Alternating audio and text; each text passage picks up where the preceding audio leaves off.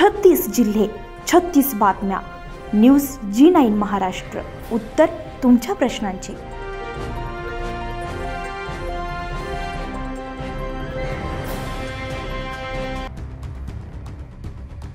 आज येवले शहरातील नांदगाव औरंगाबाद रोडला जोडणाऱ्या बायपास रोडलगत असलेल्या विहिरीमध्ये मृतदेह आढळून आल्यामुळे एकच खळबळ उडाली आहे.